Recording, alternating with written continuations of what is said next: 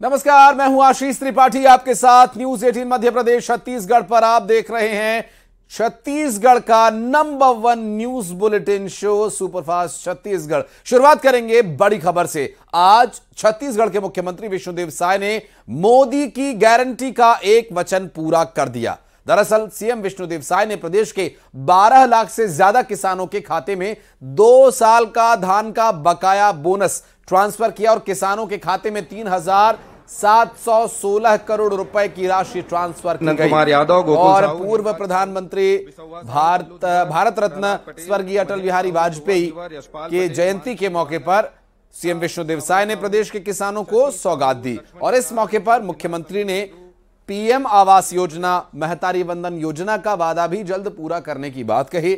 विष्णुदेव साय ने कहा कि चुनाव के दौरान बीजेपी ने जो भी वादे किए, वो सभी वादे पूरे किए जाएँगे। प्रदेश में एक लाख से ज़्यादा सरकारी पदों पर पारदर्शिता के साथ भर्ती की जाएगी।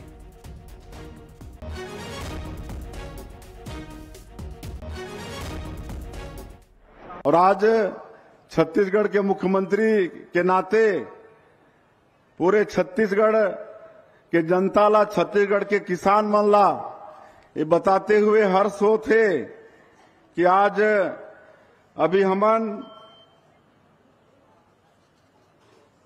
छत्तीसगढ़ के 12 लाख से ज़्यादा किसान मन के दो साल के बोनस के राशि अभी अभी ट्रांसफ़र करे हन। गरीब मन के 18 लाख मकान के स्वीकृति हमन पहला कैबिनेट में ही दे दे हन। थोड़ा सा धैर्य रखना पड़ी। हमारे से विवाहित माता जी मन के खाता मन में भी साल के बारह हज़ार रुपया जाही। तो गैस सिलेंडर देहे के काम भी करबो और पाँच सौ रुपया में वाला गैस सिलेंडर देहे के काम भी करबो। एक लाख के बैकलाख के पद है। पूरे छत्तीसगढ़ के अंदर में हमारे सरकार प्रयास करी कि आने वाला समय में पूरा पारदर्शिता के साथ वो एक लाख के नौकरी में भर्ती हो। अब हमन के वादा है कि हम पंद्रह दिन छत्तीसगढ़ के उप मुख्यमंत्री अरुण साव ने सुशासन दिवस पर प्रदेशवासियों को बधाई दी। अरुण साव ने कहा कि आज किसानों को बड़ी सौगात मिली और लगभग 12 लाख किसानों को 3,700 करोड़ रुपए से ज़्यादा की राशि का वितरण किया गया और इस पर सभी किसानों को उन्होंने बधाई भी दी। छत्तीसगढ़ राज्य के निर्माता, भारत रत्न, पूर्व प्रधानमंत्री श्रद्धेय अटल बिहारी वाजपेयी जी का जन्म जयंती है। पूरा देश इसे सुशासन दिवस के रूप में मना रहा है। मैं उन्हें सत सत नमन करता हूँ, अपनी श्रद्धा सुमन अर्पित करता हूँ। आज हमारी छत्तीसगढ़ की सरकार ने अपना दूसरा बड़ा वायदा पूरा करते हुए लगभग 12 लाख किसानों के खाते में लगभग सैतीस सौ करोड़ रुपए की राशि जारी की है और दूसरा बड़ा वायदा मोदी की गारंटी आज पूरी हो रही है। मैं किसान भाइयों को बहुत बधाई और शुभकामनाएँ देता हूँ। और पूर्व मुख्यमंत्री भूपेश बघेल ने अटल बिहारी वाजपेयी को याद किया और माइक्रो ब्लॉगिंग साइट एक्स पर श्रद्धांजलि दी। उन्होंने लिखा, पूर्व प्रधानमंत्री भारत रत्न अटल बिहारी वाजपेयी की जयंती पर हम उन्हें शत शत नमन करते हैं। राजनीति में शुचिता का पर्याय रहे अटल जी ने। विचारधारा की भिन्नता को कभी कड़वाहट में नहीं बदला। उनके उदारवादी विचारों का अनुसरण ही उन्हें हमारी सच्ची श्रद्धांजलि है।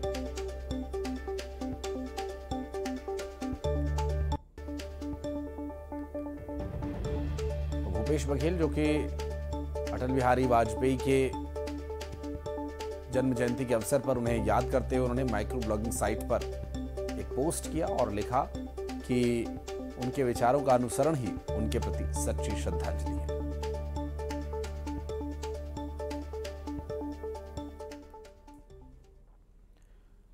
अंबिकापुर में पूर्व प्रधानमंत्री स्वर्गीय अटल बिहारी वाजपेयी की जयंती मनाई गई। अटल जी की जयंती को बीजेपी सुशासन दिवस के रूप में मना रही है। नवागढ़ के अटल चौक पर सुशासन दिवस मनाया गया। बीजेपी नेताओं ने अटल बिहारी वाजपेयी की प्रतिमा पर माल्यार्पण कर उन्हें याद किया और सुशासन का संकल्प लिया और इस मौके पर जनप्रतिनिधि, प्रशासनिक अधिकारी और बड़ी संख्या में आम लोग शामिल हुए।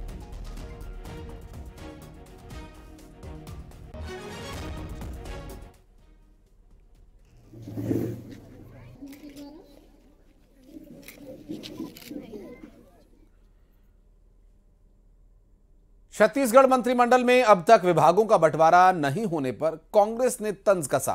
कांग्रेस के संचार विभाग प्रमुख सुशील आनंद ने कहा कि पहले मुख्यमंत्री के चेहरे को लेकर सिर्फ़ फुटवल हुई। अब बीजेपी मंत्रिमंडल में विभागों का बंटवारा नहीं हो पा रहा है। उन्होंने कहा कि मंत्रिमंडल में वरिष्ठ नेताओं को दरकिनार किया गया।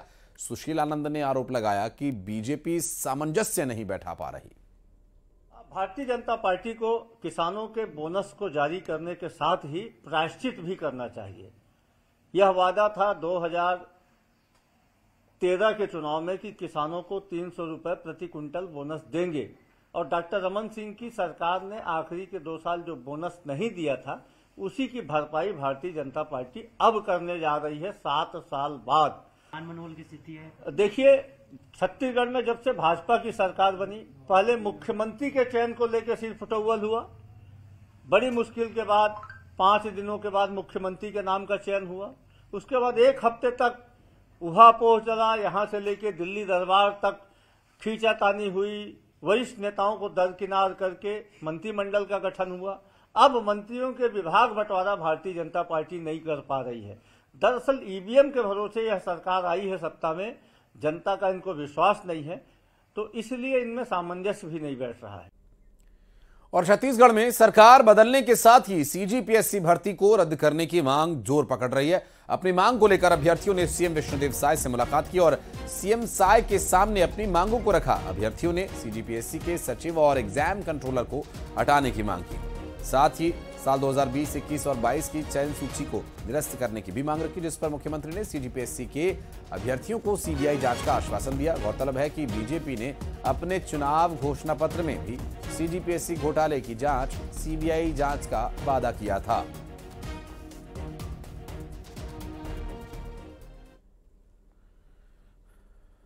और उधर सीजीपीएससी के अभ्यर्थियों की सीएम से मुलाकात और परीक्षा रद्द किए जाने की मांग पर मंत्री ब्रजमोहन अग्रवाल ने कहा कि पीएससी प्रक्रिया के कारण नौजवानों में नाराज़गी है। सीएम के सामने अभ्यर्थियों ने अपनी बात रखी है। आने वाले समय में सरकार इस पर निर्णय लेगी और कार्रवाई की जाएगी।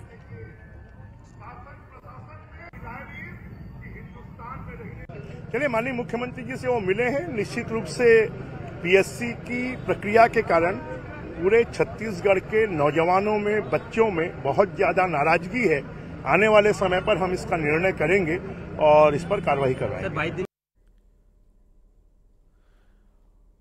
अटल बिहारी वाजपेयी की जयंती पर सीएम विष्णुदेव साय ने बिलासपुर के दौरे पर अटल बिहारी वाजपेयी विश्वविद्यालय में आयोजित कार्यक्रम में शामिल होकर उन्हें याद किया। और यहाँ पर गौरवान्वित महसूस कर रहा हूँ कहा उन्होंने कहा कि प्रदेश में सुशासन लाने के लिए आप सभी लोगों के सहयोग की ज़रूरत होगी। और उन्होंने कहा कि जितनी शैक्षणिकता साक्षरता बढ़ेगी, उतना सुशासन बढ़ेगा। आज, अटल बिहारी वाजपेयी विश्वविद्यालय ने हमें यहाँ पर आमंत्रित किया और तीन तीन कार्यों का यहाँ पर आज शुभारंभ हुआ है। एक व्यायामशाला, एक प्राकृतिक चिकित्सा सेंटर और एक रोड का। और इस अवसर पर मैं पूरे प्रदेशवासियों को अटल जयंती की बहुत बहुत बधाई, शुभकामनाएँ देता हूँ। और आप लोगों के माध्यम से पूरे प्रदेश को ये अवगत कराते हुए हर्ष हो रहा है कि जिस तरह से चुनाव के दौरान हमारी पार्टी ने छत्तीसगढ़ के किसानों से वादा किया था कि दो साल का बोनस अटल जी की जयंती के दिन उनके खातों में ट्रांसफ़र करेंगे। और आज पूरे प्रदेश के 12 लाख से ज़्यादा किसानों के खाते में दो साल का बोनस, करीब सैंतीस करोड़ रुपया ट्रांसफ़र करने जा रहे हैं।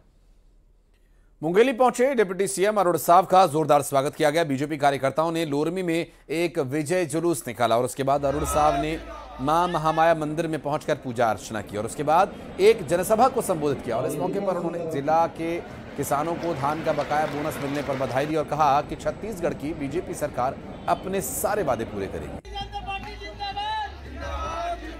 दिसंबर को 18 लाख परिवारों को प्रधानमंत्री आवास की स्वीकृति हमारी सरकार ने प्रदान की है। मोदी गारंटी की एक एक वादा हम पूरा करेंगे और जो कहा है वो करके दिखाएँगे। छत्तीसगढ़ को एक खुशहाल छत्तीसगढ़, एक समृद्ध छत्तीसगढ़ और एक विकसित छत्तीसगढ़ के रूप में बनाएँगे आज लोरमी पहला आगमन हुआ है। लोरमी की जन... और दंतेवाड़ा में सुरक्षा बलों को बड़ी कामयाबी मिली है। नक्सलियों के साथ हुई मुठभेड़ में बस्तर फाइटर और डीआरजी के जवानों ने तीन नक्सलियों को मार गिराया। मारे जाने वाले नक्सलियों में एलओएस कमांडर लक्ष्मण कोहरामी शामिल है, जिस पर पाँच लाख रुपए का इनाम घोषित था। सुरक्षा बलों ने मुठभेड़ के बाद वर्दीधारी तीन नक्सलियों के शव बरामद किए और सर्च पर निकले जवानों के सुकमा ज़िले से सटे सीमावर्ती इलाके में नक्सलियों से मुठभेड़ हुई। आपको बता दें कि यहाँ तुमकापाल और डब्बा कुन्ना के जंगल में पहाड़ियों पर यह मुठभेड़ हुई। सुरक्षा बलों ने मौके से बड़े पैमाने पर हथियार और गोला बारूद बरामद किया।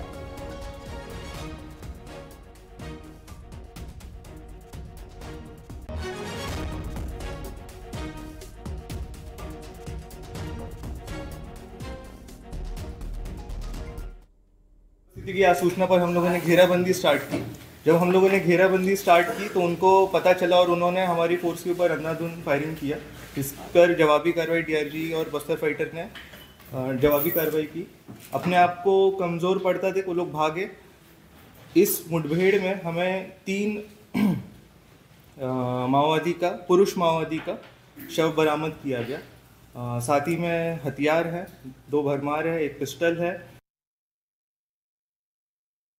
कुमार दंतेवाड़ा के सरहदी क्षेत्र के डब्बा कुन्ना में पुलिस को बड़ी सफलता हासिल मिली है। सुरक्षा बलों के जवानों ने तीन नक्सलियों को मार गिराया है, जिसमें एक पाँच लाख का इनामी बताया जा रहा है। मैं अपने साथी से कहूँगा कि वो दिखाए कि जब नक्सली और पुलिस की मुठभेड़ हुई तो लगभग आधा घंटा गोलीबारी दोनों तरफ़ से हुई, जिसमें पुलिस ने तीन नक्सलियों को मार गिराया है और बहुत सारे नक्सली सामान बरामद किए हैं, जिसमें दो राइफल और ज़रूरत के दैनिक उपयोग सामान और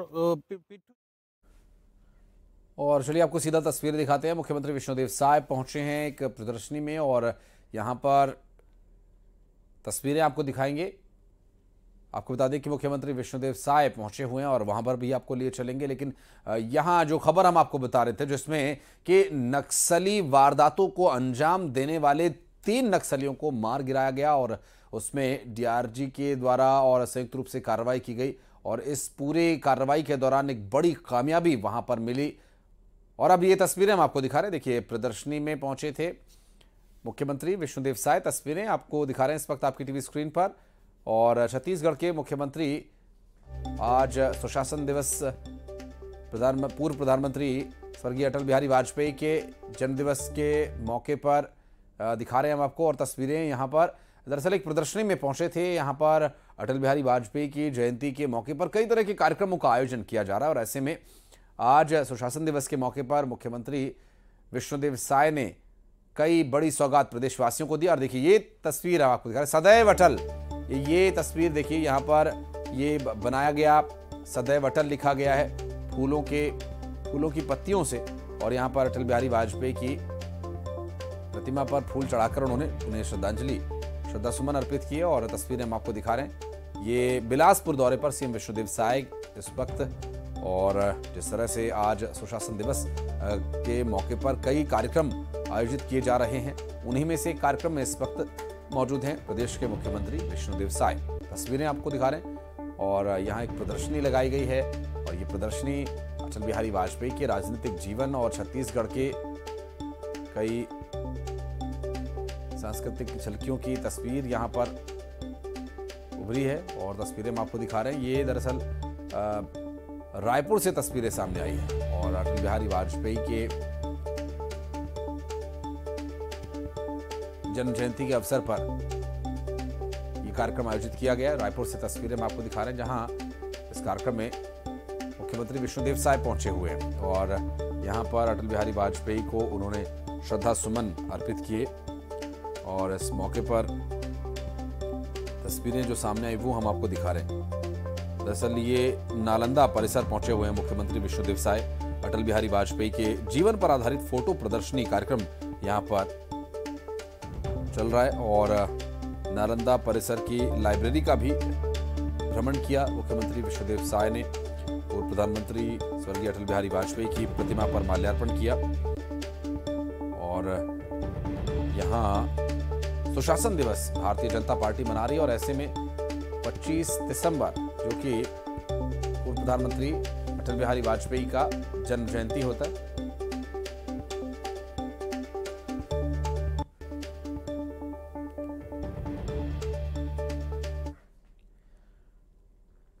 और बढ़ते आगे, बीजापुर में भी सुरक्षा बलों ने नक्सलियों की खौफनाक साजिश को नाकाम कर दिया। जवानों ने यहाँ पर नक्सलियों का प्लांट किया हुआ पाँच पाँच किलो का दो आईईडी बॉम्ब बरामद किया और बीडीएस टीम ने मौके पर ही आईईडी को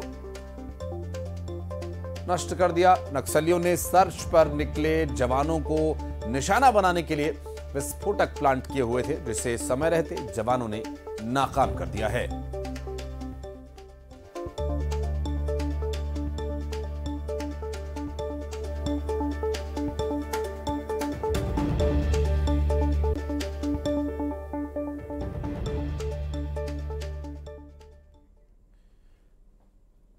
कवर्धा के पंडरिया ब्लॉक में मानव तस्करी का एक मामला सामने आया। छत्तीसगढ़ की एक युवती को मध्य प्रदेश में रहने वाली उसकी चचेरी बहन ने दिल्ली में बेच दिया। युवती काम दिलाने के बहाने पीड़िता को दिल्ली ले गई और दिल्ली में एक आदमी से दो लाख रुपए में उसका सौदा कर दिया। उसके साथ कई लोगों ने दुष्कर्म किया। पीड़िता बमुश्किल अपनी जान बचाकर कवर्धा वापस पहुँची और पुलिस में शिकायत दर्ज कराई। पीड़िता की शिकायत पर कवर्धा पुलिस ने युवती की चचेरी बहन समेत तीन आरोपियों को गिरफ़्तार कर लिया, जबकि दो आरोपियों की तलाश की जा रही है।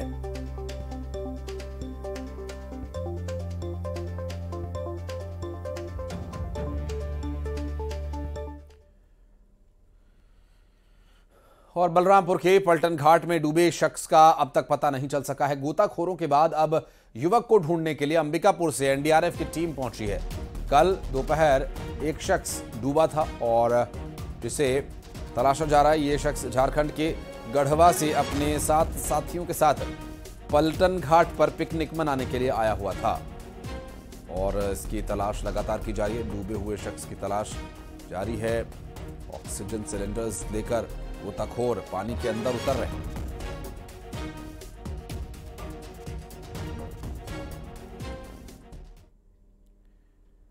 और बिलासपुर के कोटा थाने में तैनात एक आरक्षक पर युवक को बेरहमी से पीटने का आरोप लगा। आरक्षक रवि श्रीवास ने हमले में कमलजीत अजमानी नाम का युवक गंभीर रूप से घायल हो गया, जिसे इलाज के लिए बिलासपुर रेफर किया गया। उधर मामले को गंभीरता से लेते हुए एसपी ने आरोपी आरक्षक रवि श्रीवास को तत्काल निलंबित कर दिया है।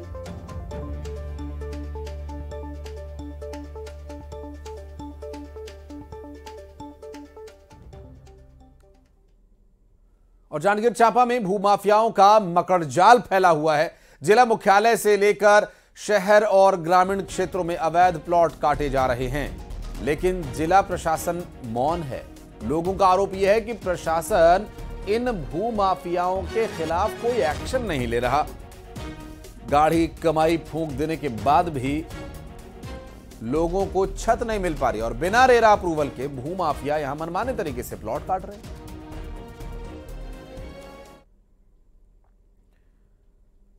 कोरबा में ठंड का कहर जारी है। पारा 9 डिग्री सेल्सियस तक पहुँच गया है। सर्द हवाओं के चलते ठिठुरन बढ़ने से लोगों की परेशानी बढ़ गई है। ऐसे में कोरबा में लोगों को ठंड से बचाने के लिए प्रशासन की तरफ़ से कुछ एक व्यवस्थाएँ की गई हैं और क्या व्यवस्थाएँ हैं, ये भी आपको दिखाते हैं। रुक जाते हैं। कंबल उम्बल गद्दों का कम्बल वो सब फ्री देते हैं निःशुल्क से।